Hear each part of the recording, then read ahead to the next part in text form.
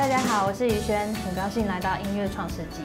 因为我的个性的关系，然后又很不善表达自己，然后又比较内向害羞，又容易紧张，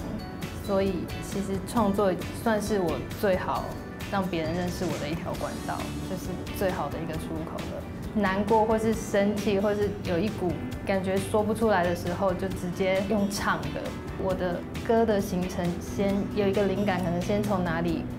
跑出来了，然后反正就是都是在脑海里面。所以我不是真的很需要乐器在旁边伴奏，反正就慢慢改，然后我就直接把我的声音当做乐器，是直接是用唱的。虽然心里其实有很多怀疑跟一些障碍，但是